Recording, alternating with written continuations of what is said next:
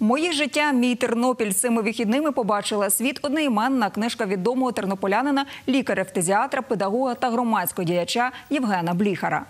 Для усіх, хто цікавиться історією рідного міста, читаючи книжку Євгена Бліхера, ви перенесетеся у 30-ті роки. Впливові міщанські родини, давні традиції, культурне становлення та розквіт Тернополя. З погляду дитячих переживань автор описує також трагічні сторінки нашого міста періоду німецької та більшовицької окупації.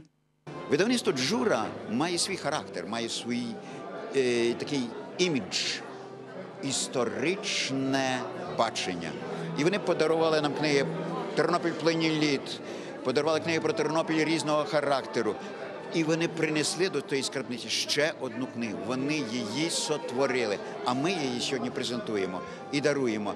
Я єдине прошу, запам'ятайте назву Мій Тернопіль, моє життя. Дідусь мій, е, напевно, все своє життя писав цю книгу, е, тому що кожний, кожний день його життя е, вписувався в історію і нашого міста, і нашої медицини. І повірте, повсякденно він робив лише добро, і він цим е, цією книжкою жив.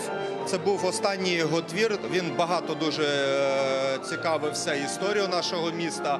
Е, Він багато зробив для е, повернення багатьох історичних е, всякої різної інформації історичної він багато зробив.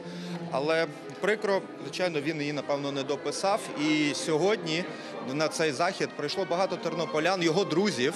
І нам дуже приємно, що не забувають його, не забувають його працю. Першим критиком в літературі, основним порадником по житті та вірним другом пана Євгена завжди була його дружина, киянка Валентина. І завжди, що він хотів робити, казала, роби. Роби. Підтримували завжди. Завжди. Він було то, що тато да. І писав він, я філолог за першою освітою. І завжди він що писав, він давав мені почитати. І я мусила, останню книжку я практично вже не читала, тому що він писав і казав, я закінчу, тоді тобі дам. Ну закінчити йому не вдалося, тому що він буквально на половині десь він пішов. Причому так, знаєте, до останнього дня він хотів ще йти на роботу. Для багатьох гостей стало приємним відкриттям Євгена Бліхара як художника. Понад 50 картин чоловік залишив дітям та онукам. Любив малювати природу у різні пори року. Не вистачає сьогодні родині, колегам та друзям мудрого наставника, але пам'ять про Євгена Бліхара залишається у його великих справах. Сьогодні, звичайно, мені дуже його не вистачає, тому що він для мене був підтримка, він мені допомагав в житті, в нього був ясний розум, чисте серце.